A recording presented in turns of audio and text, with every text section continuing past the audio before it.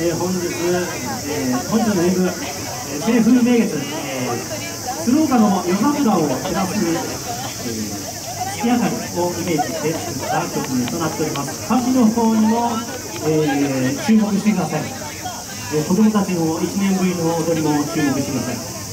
それでは行きます。